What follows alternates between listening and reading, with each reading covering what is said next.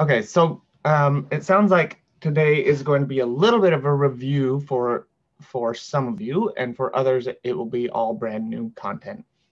So um, as we're going along, please do interrupt me if you have questions, if um, some of the things I'm saying go against your preconceived notions, or uh, if I'm going too fast or, or whatever, okay?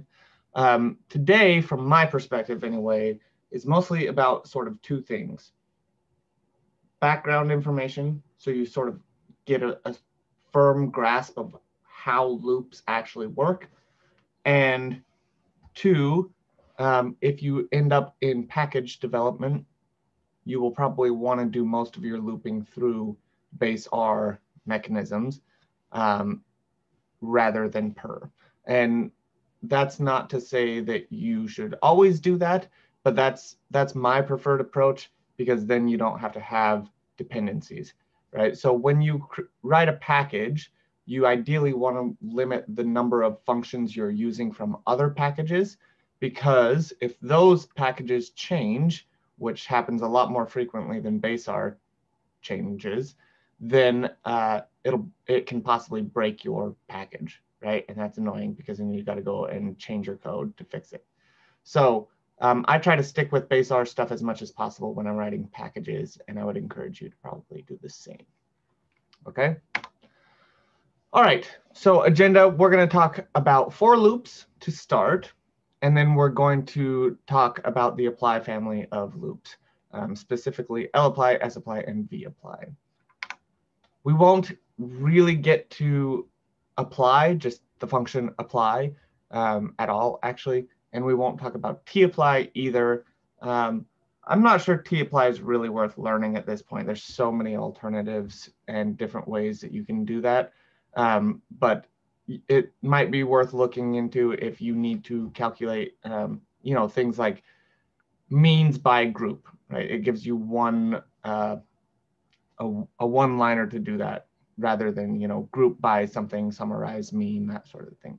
Apply, um, just apply is nice because if you have a matrix in particular, then you can rather than looping through every column of the matrix or looping through every low, row of the matrix, you just specify a dimension, so rows or columns.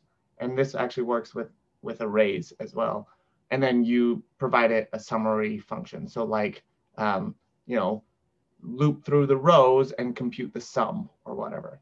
And there's other functions like row sums that do the same thing. But, but uh, apply is probably worth looking into tapply probably not as much, but we won't really have time for that today. And from my view, they're a little bit less important than these ones up above because you can use those ones up above to replicate anything that apply does anyway. Okay. So the basic learning objectives for today are to understand the basics of what it means to loop through something, um, loop through a vector. So if you already feel comfortable with that, great um, and then begin to recognize use cases, right? Because part of what is really nice about the tidyverse, and I'll show you an example of this later, but is that it actually helps you avoid writing loops a lot, right? And so uh, you don't you don't have to end up writing the, the loops, but there are still many cases where you sort of have to write a loop. And um, so recognizing when you need to do that versus using just your existing tool set is is part of the the challenge, I guess, and, and part of what I'm hoping to communicate here. Um, and then by the end, be able to use basic for loops and write their equivalents with lapply. So you should be able to write a for loop to do something and then be able to do that exact same thing through lapply, okay? All right, so the basic basic overview of for loops. This is a little bit small. Maybe I can zoom in on it. Yeah. Um, but basically what this is, this is a really old image I've used a hundred times now.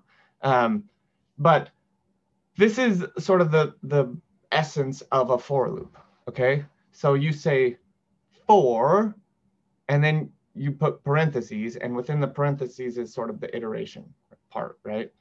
So then you can say I, or you could say J, or you could say row, or you could say whatever you want, right? I is just a placeholder. Um, by convention, by convention, people use i a lot when they're using numbers like this, one, two, three, four, five. And then if you have a second for loop underneath it, you would say for j in and then for k in. But I will say if you're nesting a for loop within a for loop, there's probably a better way to do it. If you're nesting a for loop within a for loop within a for loop, then there's for sure better ways to do it. All right. Um, most of the time, that means just writing a function that does one level of the looping for you, and then you can loop through that function. So then you'll, you're actually doing a loop within a loop, but it's much more clear if one of those loops is its own function. Okay. So anyway, back to this.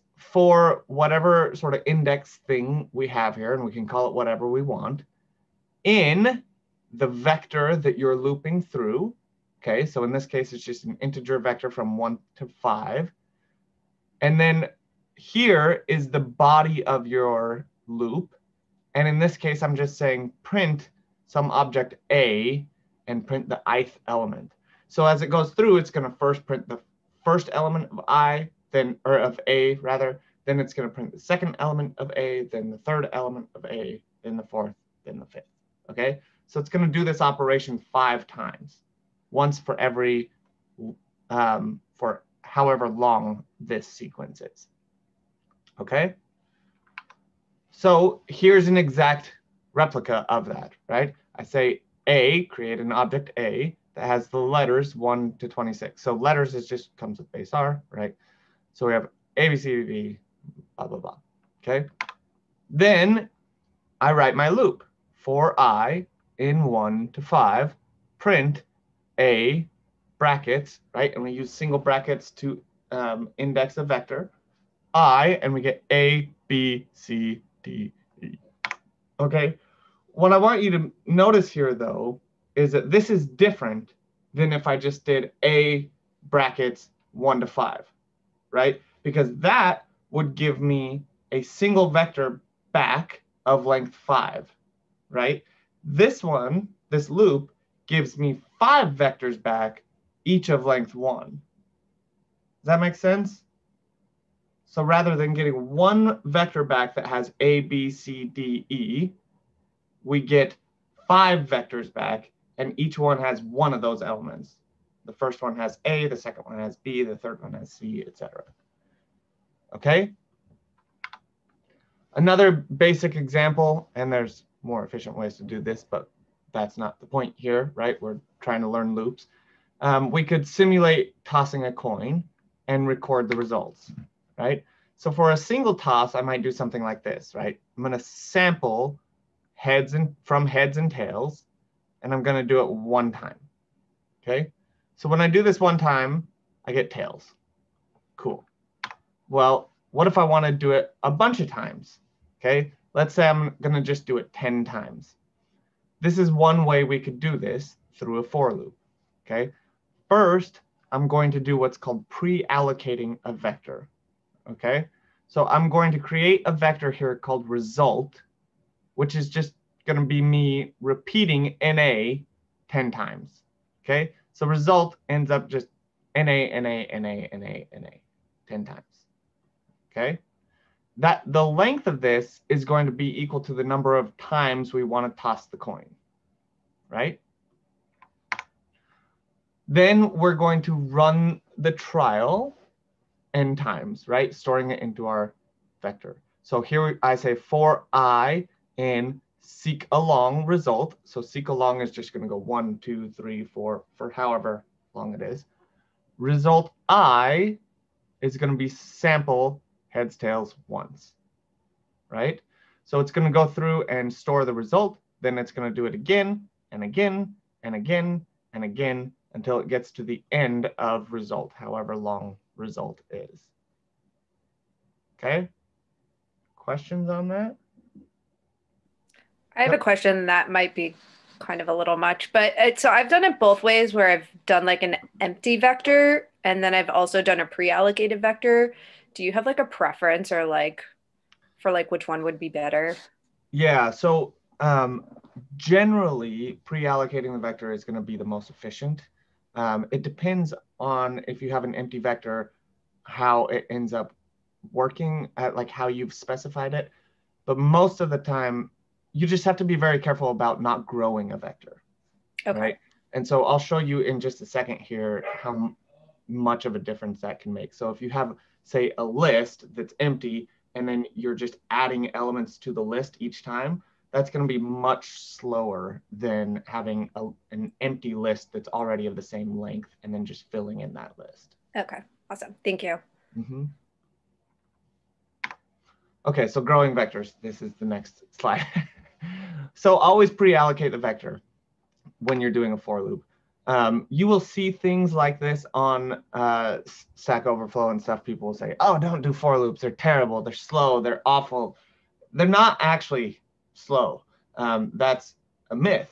They're slow because people write the for loops incorrectly, basically. Um, so there, if you use lapply, you don't have to pre-allocate vectors, and we'll get to that later. But so people will show something with a for loop and then use lapply, and lapply is so much faster. But if they just wrote their for loop a little bit differently, they would be equivalent in speed. Okay, so um, primarily this means not growing a vector. So here's a, a, a quick example, right, where I say not allocated and I sample heads and tails. So I'm just sampling it once, right? And then I'm going to, um, here in my for loop, so 100,000 times, right? In my for loop, I'm going to just use C to add a new element on there each time, okay? So it's going through there 100,000 times. Each time it's just adding a new element to the vector over and over and over again, okay? So with 100,000 coin flips, that takes about 37 seconds, all right? If I do the same exact thing but I pre-allocate the vector first, it takes half a second. Okay, so that's a huge difference, obviously. And if you are uh, working on bigger problems, then you know it might be because that's right huge for just this simple little example. If it's actually taking say 10 seconds per loop when you're doing something like this, um, you know, then doing something like this could end up taking you days whereas this might take like an hour or something like that. Okay, so real quick, I'll just walk through this code a little bit more uh, carefully so we're understanding what's happening here. I have this tic and toc code.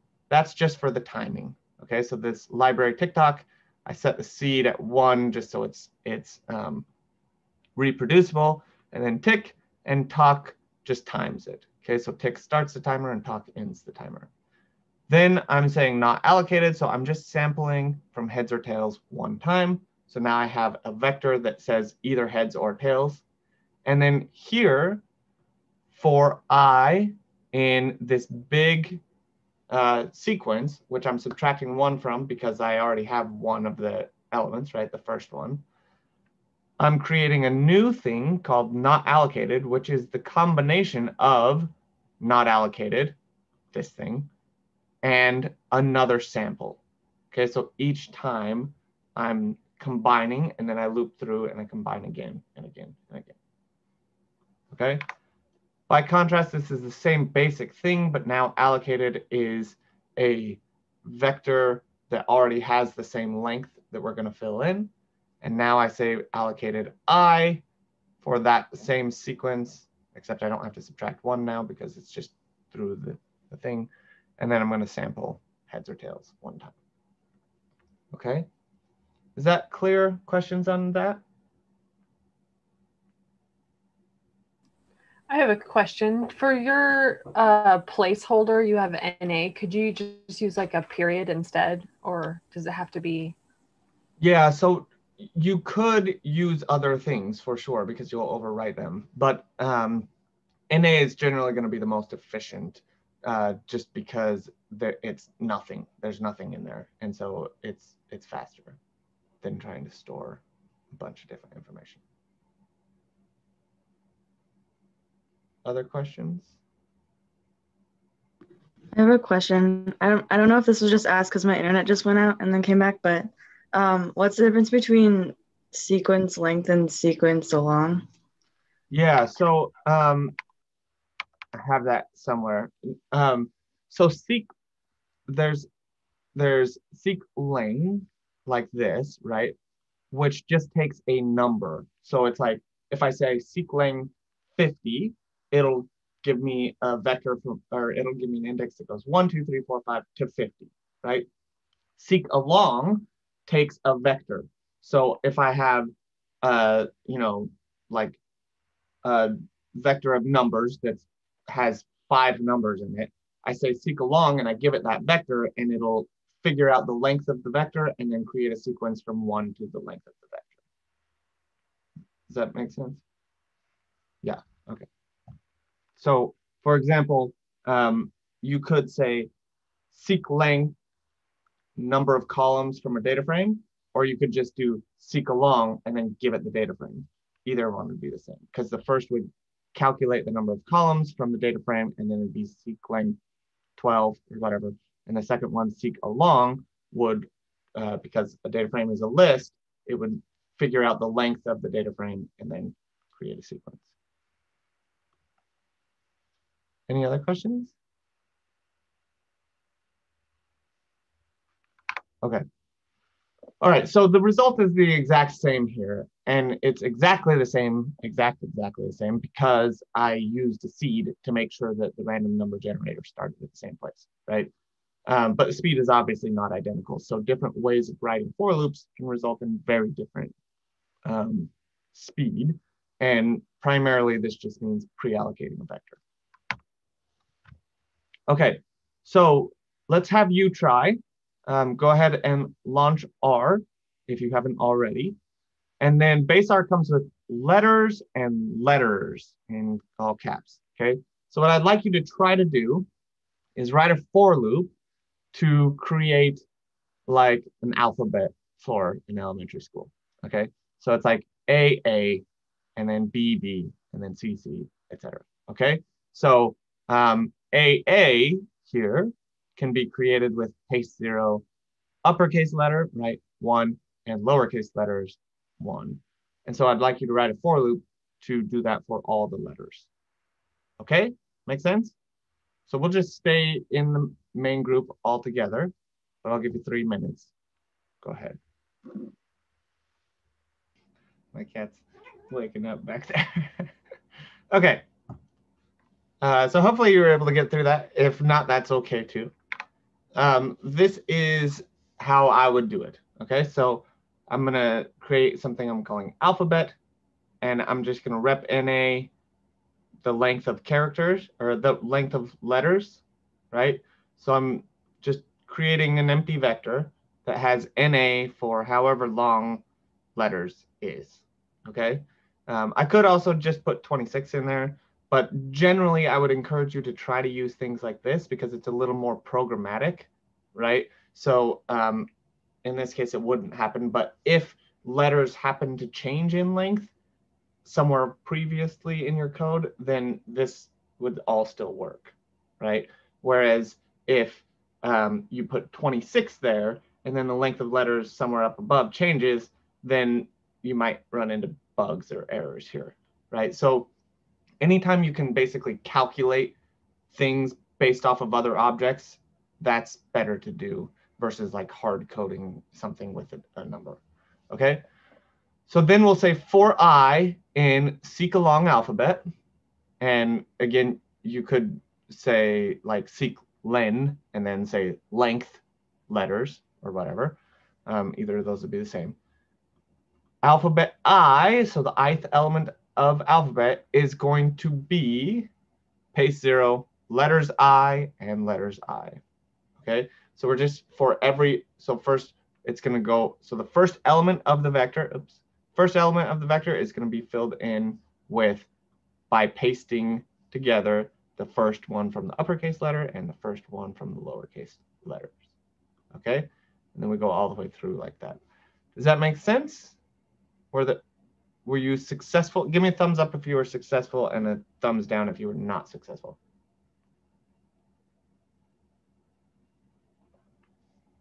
Okay. All right. Thank you.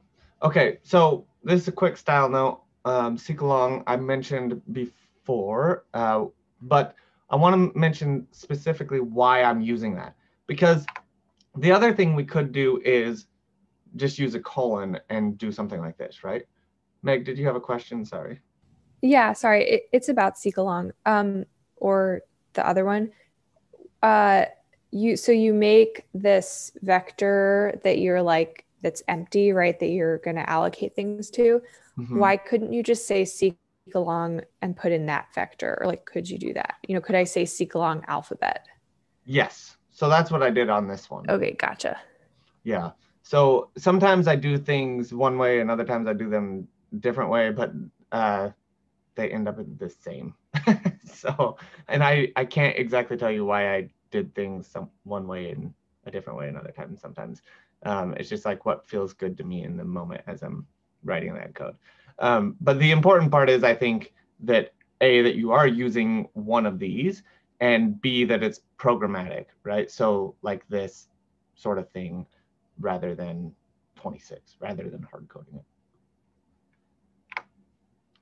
Good. So why am I using seek along instead of just something like this, right? So if I, I could use a colon, like this is super common. You'll see code like this, like one, two, the length of this thing, right? Whatever it is, X. The problem is seek along is, is generally a little bit safer because of things like this, right? So X, I'm creating an object called X, which is just an empty data frame. So it's a data frame, but it's completely empty, right? If I say one to the length of X, I get a sequence that goes one, because that's where I'm telling it to go, to zero, because the length of X is zero, right? So it goes from one to zero.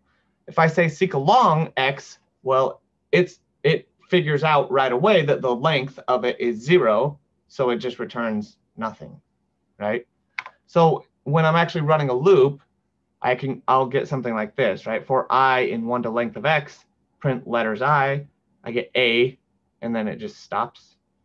Whereas on this one, seek along x, right? There's nothing, and so it doesn't actually do the loop at all.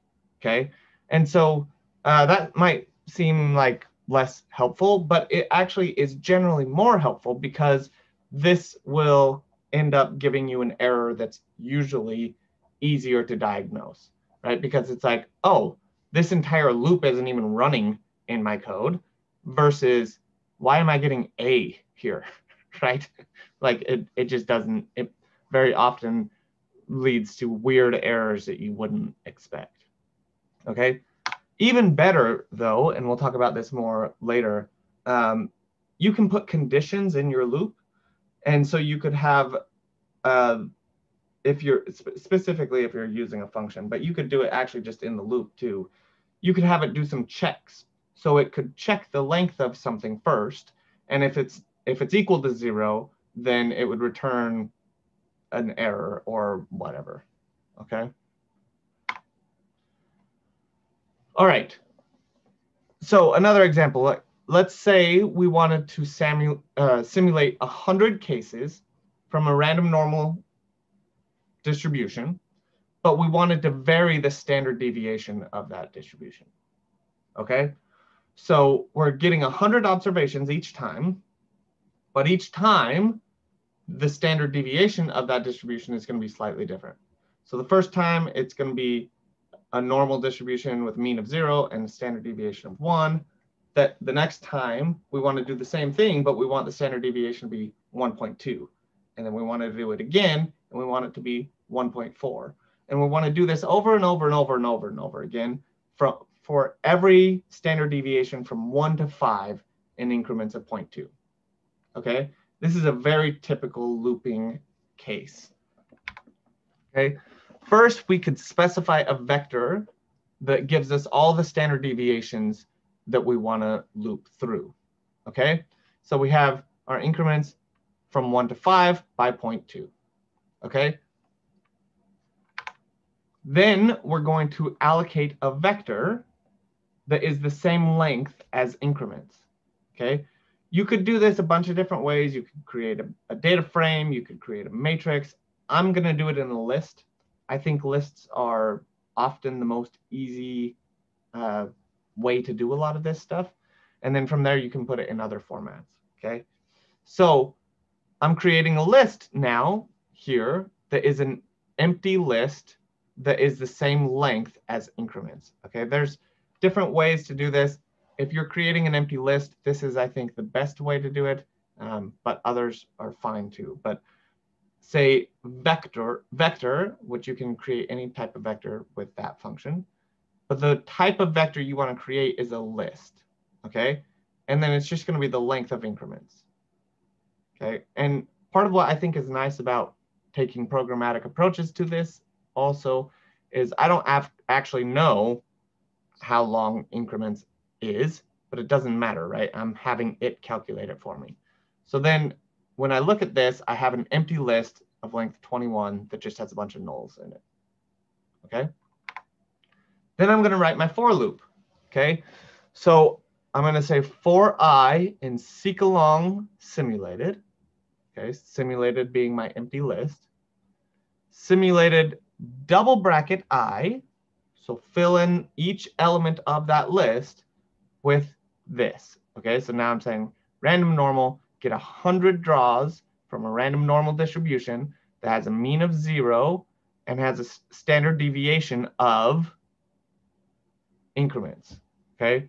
0.2, 1, it starts out at 1, then 1.2, then 1.4, then 1.6. And each time it does that, I get 100 draws from it, right? So now when I look at the structure of the simulated object, it's still a list, but each one now has 100 observations in it okay? So each element of the list, now rather than being null, is an atomic vector of type double of length 100. Okay? Does that make sense? Questions on that?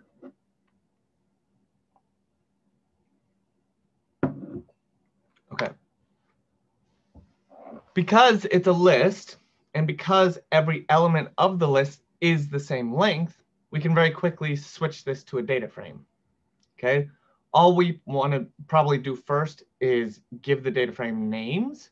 Okay, so um, I'm saying that uh, we want the names of simulated to be equal to paste zero SD underscore, right, standard deviation of increments. So it's going to create things that look like this. So that's going to be the names of the list. And then when I call data.frame on simulated, I get a data frame that looks like this. Okay. So now we went from a list to a nice data frame really quickly. And, uh, but I think a list is easier to actually work with when you're doing the looping. So tidyverse, one of the best things about the tidyverse, as I mentioned before, is that it does a lot of the looping for you. So you don't have to do it. Okay. Um, anytime you're using a group by, basically it's doing a loop in the background okay? Um, so here, I'm not gonna go through this code, but this is just to move it to a longer format, right? And then I go ggplot, geom density, make the color equal to the standard deviation, and I get a plot that looks like this, right? So here's a whole bunch of lines. I omitted the legend because it's way too many colors anyway. Um, but you can see the density of the distribution, right, according to these different standard deviation units. Cool. So this is Jenny Bryan quote that I've always liked because I think it's super relevant. Somebody has to write loops. Doesn't have to be you, but uh, in some cases, it probably will have to be you. and so that's why we're talking about all this. Okay. All right. So what about a base R method of doing the exact same thing we just did with ggplot, right? So if we were in the base R world, we would probably have to write a loop to do this okay? So this is how I would do it. And again, this might start to feel redundant because that's kind of how for loops are. It's sort of the same thing over and over and over and over again. But I'm going to create an empty vector, creating a list again, that is the length of simd. Okay, simd was my simulated object, right? And length, uh, so coming back here real quick, simd is actually my data frame right? But if I say length on a data frame, I'm going to get the number of columns in the data frame because it's a list under, underneath it, right? So each element of the list is a column. Does that make sense? So I could also say ncol SIMD, but it, but length is actually a little bit more um, specific. And ncol would have to be what you would use if you were using a matrix, but uh, for a data frame, length is probably a little bit more accurate. Okay. Then we'd say for i in seek along densities. So I'm seeking along this thing I just created. Densities double bracket i. So each element of the list is going to be the density of the ith column for SIMD. Okay, so I'm getting the ith column and I'm calculating the density from SIMD. Then I look at the structure of the densities and each of these are density objects now, okay? And these can be plotted with base R very easy, right? So I say plot densities double bracket one, that's gonna give me a plot of the density for that first column, okay? But what if I wanted all of them? Well, then I've gotta write a loop again. Okay, so I've extended the X limit range here, okay, to be negative 20 to 20. But then I'm saying for i in a sequence from two to the length of densities, I'm doing two because I don't want to over, I don't want to draw that first one again, right? Lines where the x is equal to densities i x and the y is equal to densities i y. Okay, and we get all of those lines. Does that make sense? Questions on that?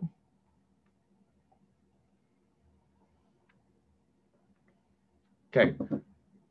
This is, um, just pause here for a second to say, if you're not familiar with looping, like if you haven't done it before, this is probably feeling like, whoa, right? Like this is a lot of stuff.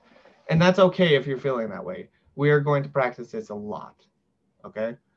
Um, but it is very new and very different way of thinking about this kind of stuff. All right. A couple of things that are not really the most important, but I think they're worth mentioning. Um, so on the prior slide, I said a sequence from two to the length of densities. Okay. You can also skip iterations in, in a loop. Okay. So here's an example where I'm skipping. I'm saying if I is equal equal to one, then just next, skip it. Okay. Otherwise, do this stuff. Okay, and that allows me to just do seek along here rather than a sequence from two to whatever. Okay. Um, you might also want to do that if there's like, you know, I don't know, maybe you have a negative negative values and you don't want to, or maybe you have something where you're dividing by by a number, right? So you have a, a sequence of numbers and that ends up the denominator in the thing that you're calculating. So you might want to say if um, the denominator equals zero, then next, right? Because it couldn't divide by zero. Questions on that? Okay, and here's just another example where you can break a loop. Um, for for loops, this is not particularly important. For other loop, other base R loops that we won't really talk about too much, but like a, a while loop or um, a uh, repeat loop, you have to have a break because it, they sometimes they they won't break until a condition is met. Okay. So here's a quick example. So for loops generally will just run out, but you can run into, for other types of loops, you can run into infinite loops where it will just run and run and run and run and run and run and run forever, like literally forever, unless you manually break it. And that's because you have to have a condition in those types of loops to tell it to break, and it'll keep running until that condition is met. And if that condition is never met, it just keeps going. Okay. Um, but for for loops, we might want to do something like this, right? So we're having a random uniform vector of type double, um, and I'm saying if any rand uniform is greater than five, then break. So it's going to sample from a, a uniform distribution from zero to 10. And then if it gets to any of them that are greater than five, it's just going to break. Okay. So then here's what the output looks like. We get 2.6, 3.7, 5.7, and then this one's greater than five. so it breaks. And then we just have the rest of them are zeros from our vector that we allocated up here. Okay? Makes sense? All right. So that's what that's pretty much it for for loops. We will um, practice them more, but we're now going to move on to the apply family of loops. So before I do that, I just want to pause one more time. Um, are there other questions on any of that?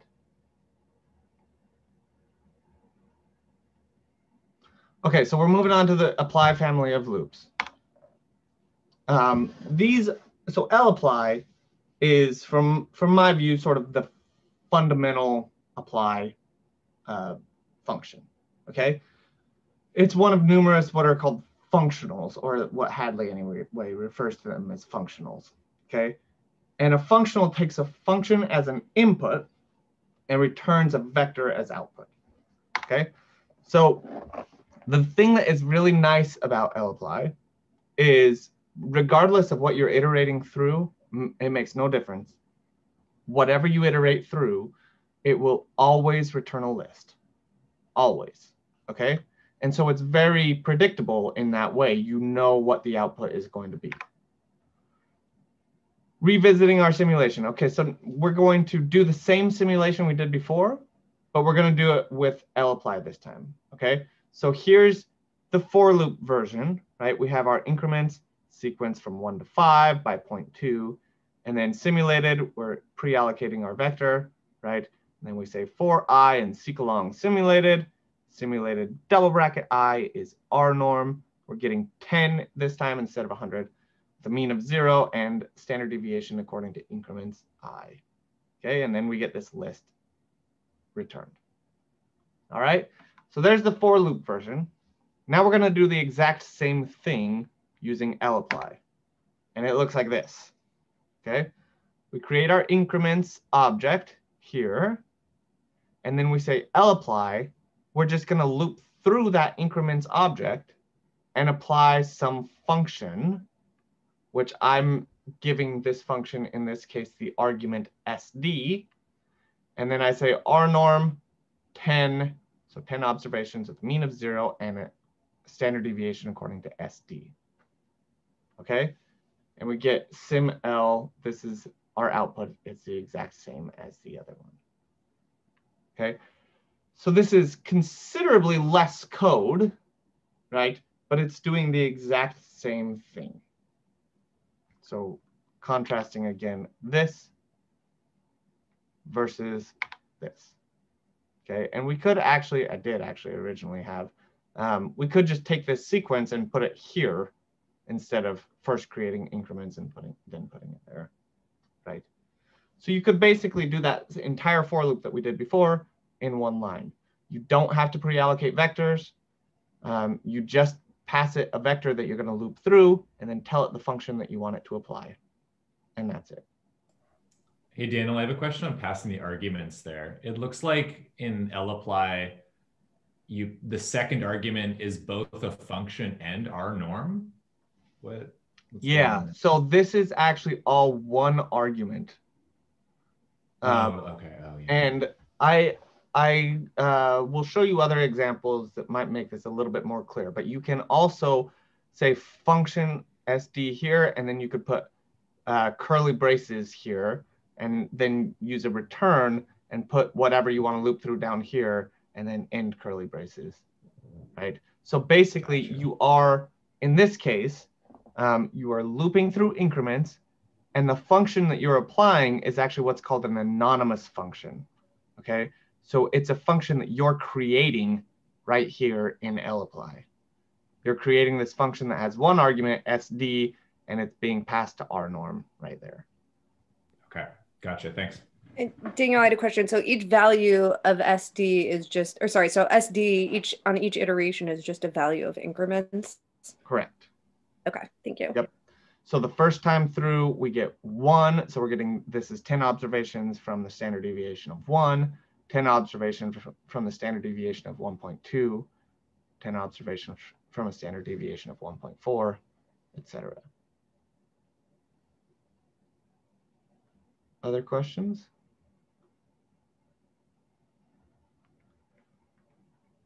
Okay. More examples. So um, we can loop through a data frame, super easy, right? Because remember, a data frame is just a list. So if we can loop through a list, we can loop through a data frame doing the exact same thing, okay? So go ahead and follow along here, please. Um, we're gonna load the Palmer Penguins data set, and then we're gonna use lapply on penguins, and the function I'm gonna loop through is just is.double. So here I don't have to pass anything else. I'm just saying for every element in penguins, test if it's double. Right? So this is the vector I'm loop looping through, which happens to be a data frame, but a data frame is a list. And the function we're applying is is.double. Okay? And because we're using lapply, we always get a list in return. And that list is logical where it's saying, it's telling us for each column if that column is of type double. Okay. We can use lapply on mtcars and say mean, right? So that's going to give us the mean of every column of mtcars.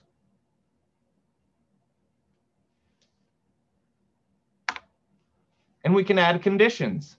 Okay, so this is as we talked about before, um, but a little bit more of an applied, like real example, right? So before I was having, I was showing you how to break out of loops and how to skip iterations.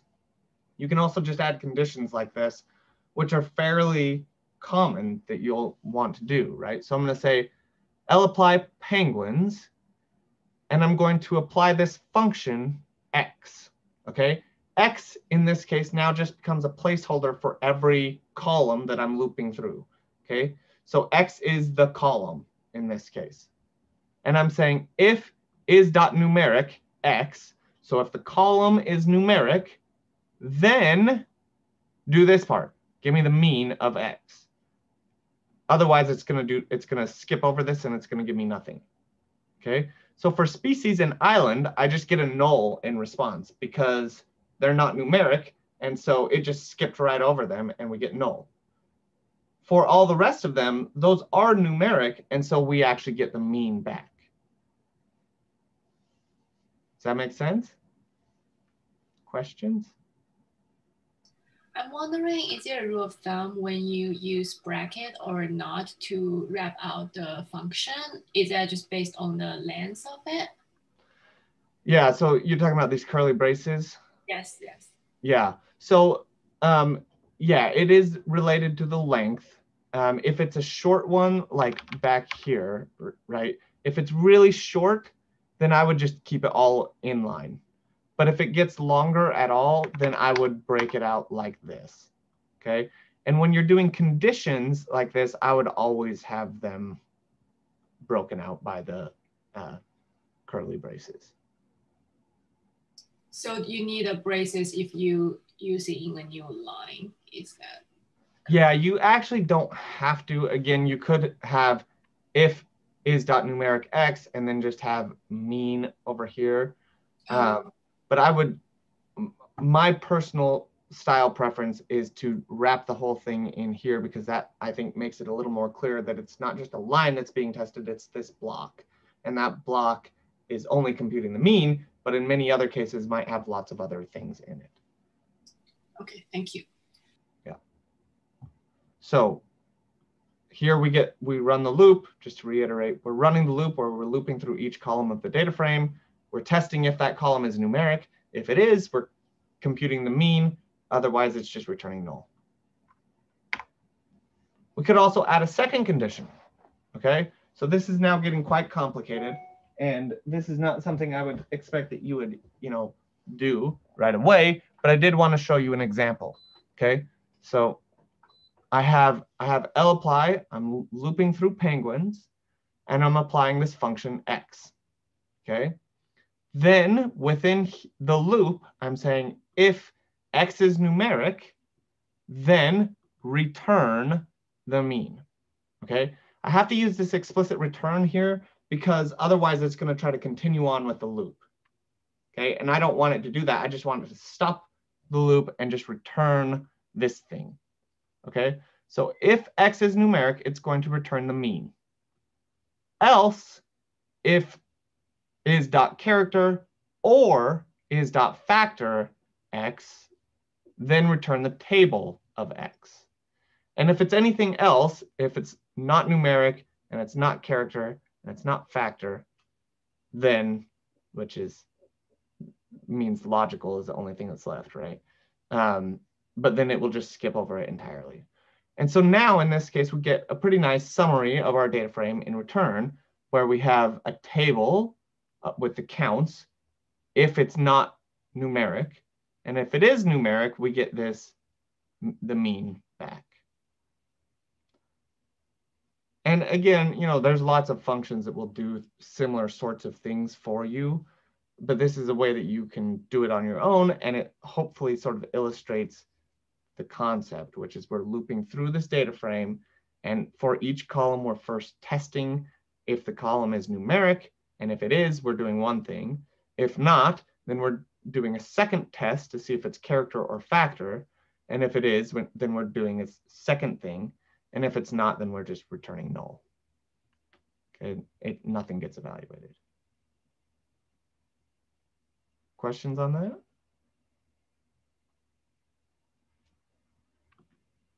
Okay. All right, we can also pass arguments directly with lapply, which um, can lead to even a little bit more uh, concise syntax. Okay, so here I'm using air quality data set, right, which is part of base R. And it's it's nice because um, it has some missing data. Uh, actually, so does the Palmer Penguins one, so I probably should have just stuck with that. But I went with air quality because it's all numeric, but there is missing data in it, right? So if I say lapply air quality, I could say give me the mean of every column. But because we have that missing data, we want to pass an additional argument. Okay, so I have the thing I'm looping through first, and then I have the function that I want to apply to each element of that vector. Okay, if I want to, I can now include additional arguments to that function immediately following the function that I've provided. Okay, so I'm saying mean is the function I'm going to apply, and na.rm equals true is an argument to this function, right? And I only have one additional argument here, but if you look at the help documentation for lapply, it will have like x as the vector that you're looping through, fun for the function that you're going to apply, and then the third argument is just going to be dots. It's going to be dot, dot, dot. And that's a, basically a placeholder for any additional arguments you want to pass to the function. So I have na.rm equals true here, but I could have 15 additional arguments to the function that follow this, and they can all just be passed directly through lapply like this. Okay? So going back to our simulation, we could also do something like this, right? We have lapply, we're going to seek along these standard deviation numbers, we're going to apply the function R norm. R norm only takes three arguments. There's only three arguments that you can pass to it. The n, the mean, and the standard deviation. So I'm defining here what the n is, and I'm defining what the mean is. So the only thing that's left, left is the standard deviation. So it's going to use R norm and fill in the standard deviations with these values. So now we've gotten really abbreviated, right?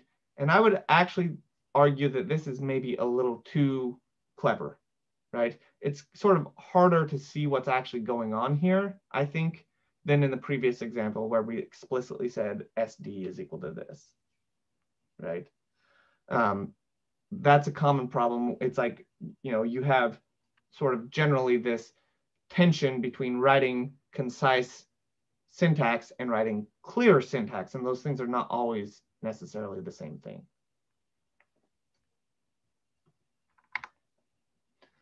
Okay, um, please follow along with this part as well. We're going to take the mtcars dataset and we're going to split it by cyl, okay, by the number of cylinders. So what I'm doing here is I'm creating an object called by cyl. And when I say split empty mtcars by this other vector, all it's going to do is give me a list in response where each element of the list is the thing with that specific value. So I have mtcars cyl here. this first element is going to be only the rows of mtcars where cyl is equal to four. The second one is only the rows where cyl is equal to six. And then I have one more um, element of that list, which is a data frame, where it has only the rows where cylinder is equal to eight. Okay, that makes sense? So basically we took a data frame and we took a column from that data frame, cyl, which has the values four, six, eight, and we split it into a list where we have now three data frames, one data frame for each unique instance of cyl. Okay? Does that make sense? Questions on that? Okay. Now, because we have this list object, we can loop through by CIL the object we created back here.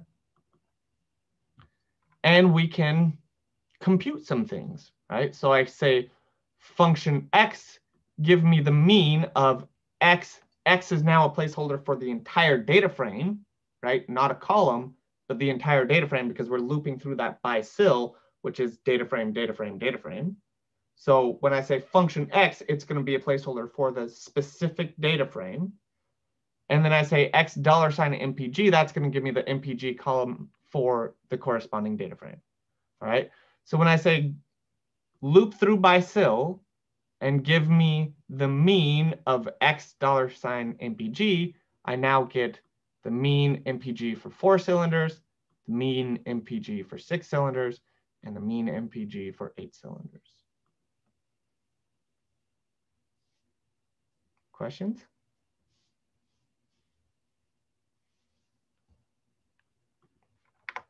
Okay, so now your turn again. I'd like you to try to do to mimic that exact same thing, but using Palmer penguins. Okay, so using Palmer penguins, split the data set by species. That should be in blue. Messed up. Um, split the data set by species and calculate the average bill length millimeters. Okay, Four minutes. Go ahead. Okay. Hopefully you were successful. Um, I apparently didn't have the column to do it here. I thought I did. Um, but the process would be exactly the same as we did here, right? So I'd, I would say create something I would probably call it by underscore species. And then I would say split penguins, and then penguins dollar sign species. That would give me a list with a data frame for each species, right? And then I would say L apply by species, function x, uh, mean x dollar sign bill length millimeters. Okay? That should do it for you. Did anybody have um, problems doing that? Or were, were there issues you couldn't resolve?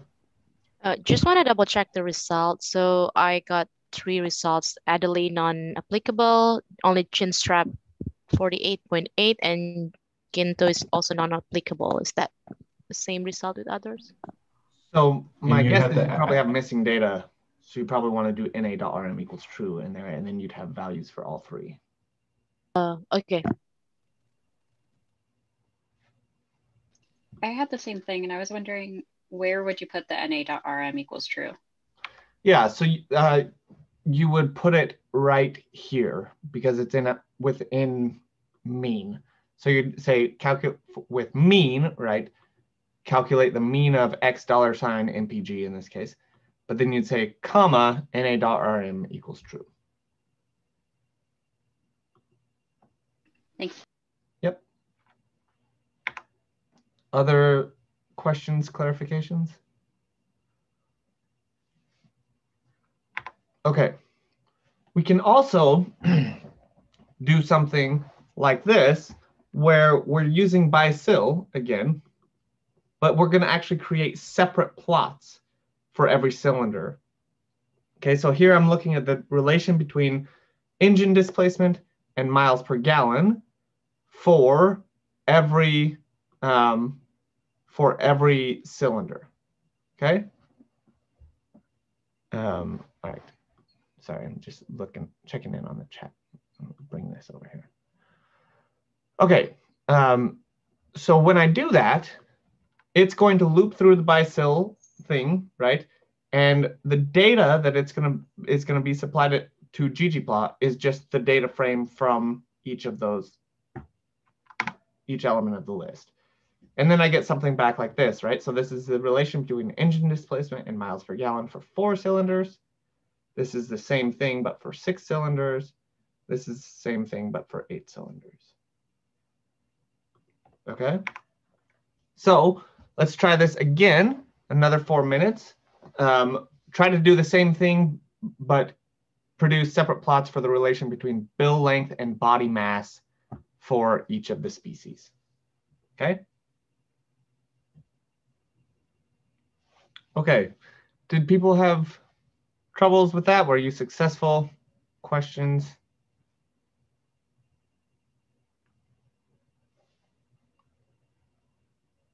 Okay, good. It should be basically the exact same as this, but you'd be looping through your by species instead, and then you'd put your variables here. And that's it. Okay. Okay, saving. Um, you can extend this example further by saying, okay, I want to now save every one of these plots. And in this case, right, we're only producing three plots, but it's very regular for me that I will have, you know, 20 plus plots at that I want to write out at the same time. Okay. And so a loop is really, really helpful for this. Using functionals like lapply um, would require parallel iteration, which we haven't gotten to yet. Um, there's a function in base R called map with a capital M, um, which is what I would probably use. There's also mapply, but that's a simplified version of it, map. Um, but you can extend this fairly easily with a for loop. Okay, so first we're gonna do something like this, right? I've, I'm gonna create my plots and I'm actually gonna save those plots in an object, which I'm calling plots, right? So we're looping through by cyl, applying a function x, where x just becomes a placeholder for the data, and then we're gonna create that plot, right? So this gives us those three plots. And then we're gonna create a vector called file names, right? Those file names are just it's just going to be the pathway where we want to save each of these plots. So the way I would do this is say here, here, plots, assuming I have a, a directory called plots. If not, I would run this line of code first, create a plots folder in my current directory, right? Or at the root of my current directory. And then um, I would say paste zero, cyl, and the names of by cyl, and then dot .png. So I'm going to save them all out as pings, okay?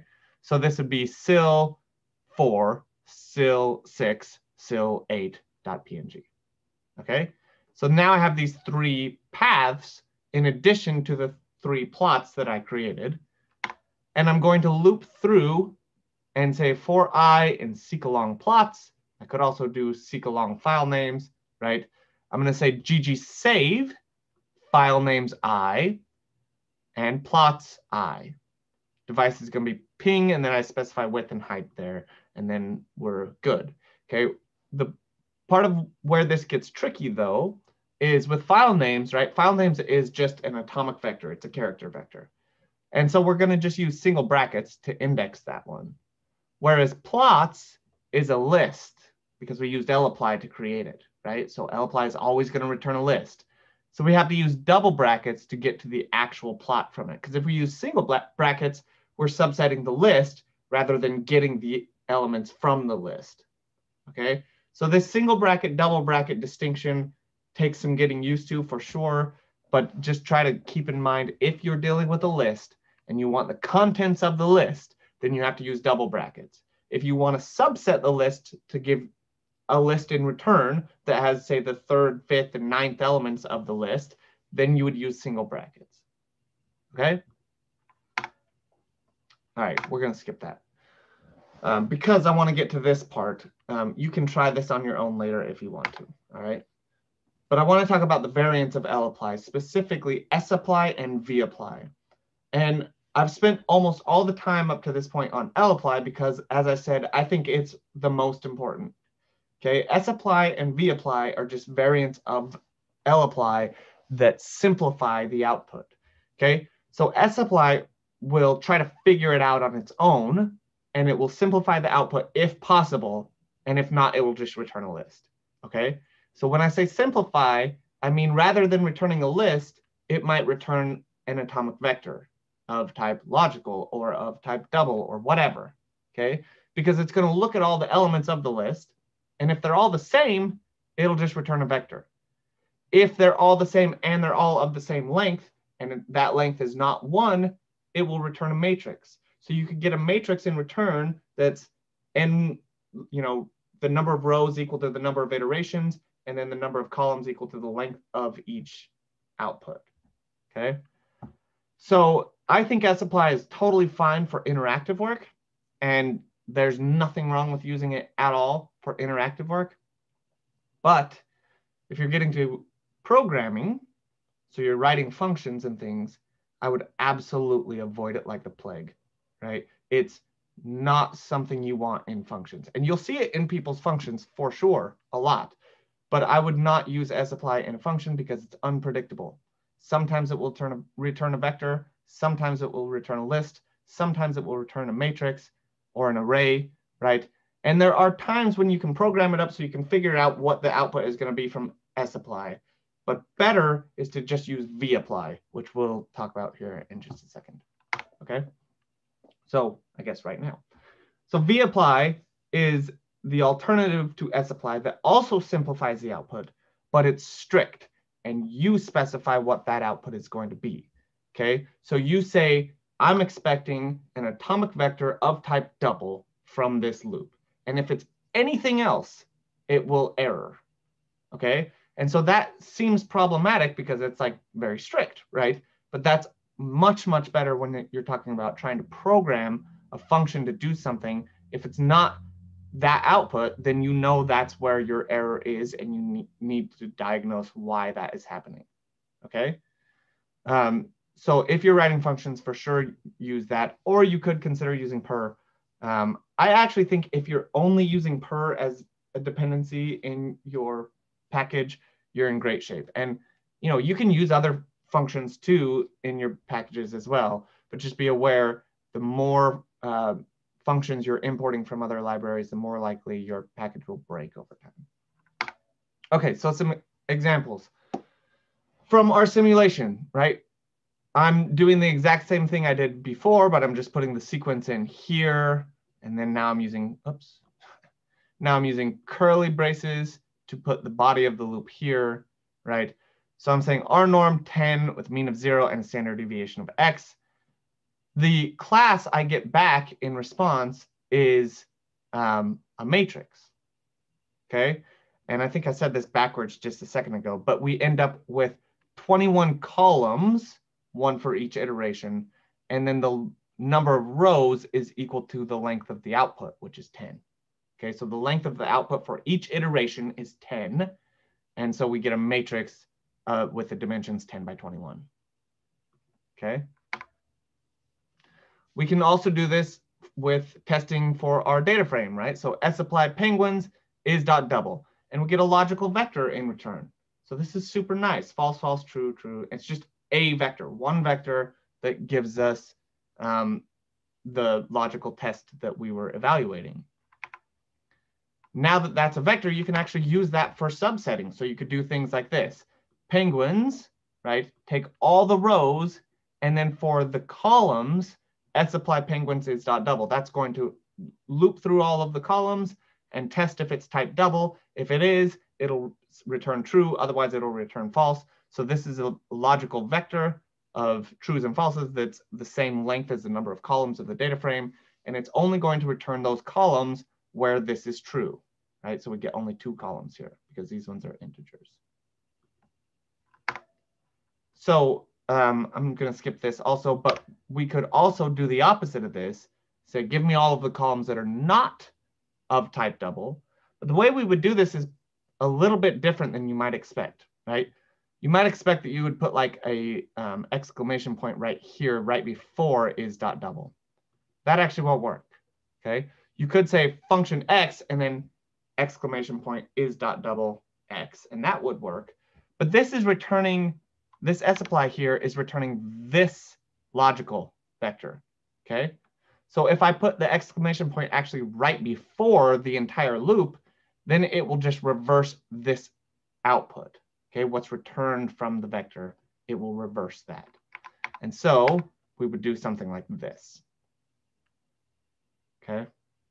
That's maybe a little bit confusing, but it's basically you're taking this is the output, which is that previous logical vector, and then this exclamation point is just reversing that. So all the truths becomes become falses, all the falses become true. Okay, only one minute, um, but we'll talk about vapply very quickly.